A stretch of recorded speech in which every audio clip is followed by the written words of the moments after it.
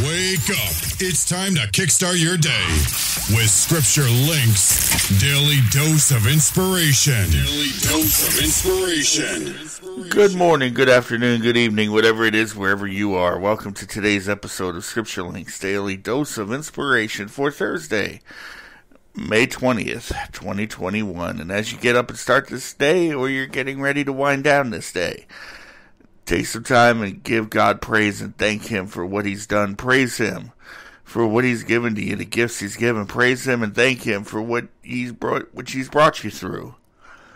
And just praise Him for what you see out your window right now, because there's a beauty if you look like me and look out over the mountains, or even if you look out your window and see the the skyline of a big city. There's beauty in all that, and God is behind all of that stuff.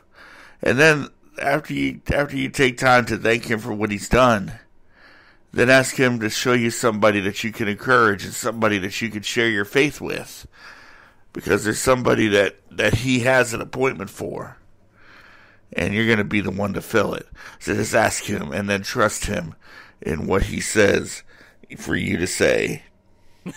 I just heard this funny joke. it's a great joke. Are you living your life to please God? You won't believe how funny this is. No, I, I really shouldn't tell this kind of joke. but it's so funny.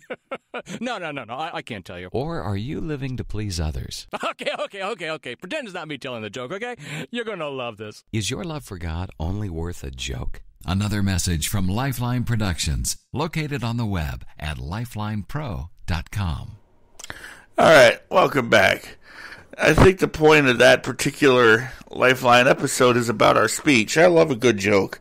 I also love a true joke. I love a joke that doesn't make fun of people.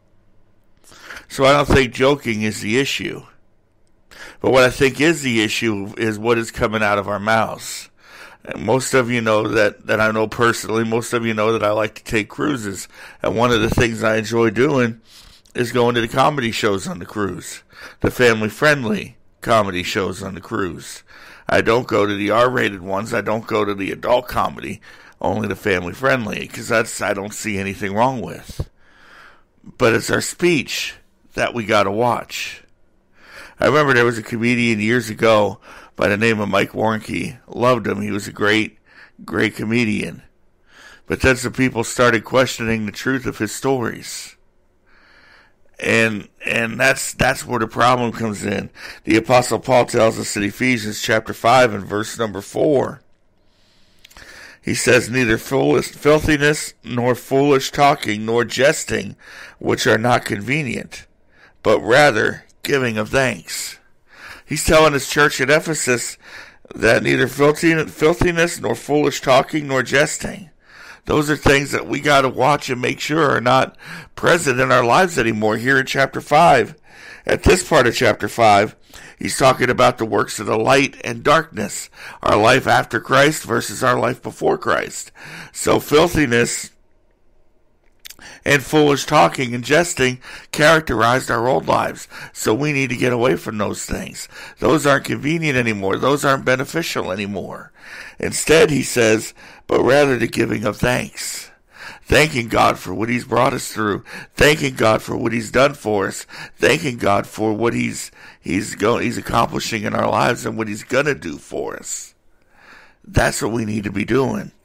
And then over in the book of First Timothy, chapter number four and verse number seven, Paul tells the young preacher Timothy, he said, But refuse profane and old wives' fables, and exercise thyself rather unto godliness.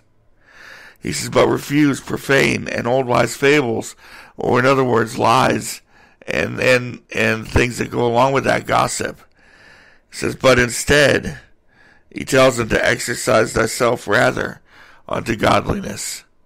So there's two things that we need to be focusing ourselves on the giving of thanks and godliness. Is that two things that you're trying to grow in your life today? Think about that as you go through this day. And remember, get into God's Word and allow God's Word to get into you. And then share that Word with someone today. Have a blessed day.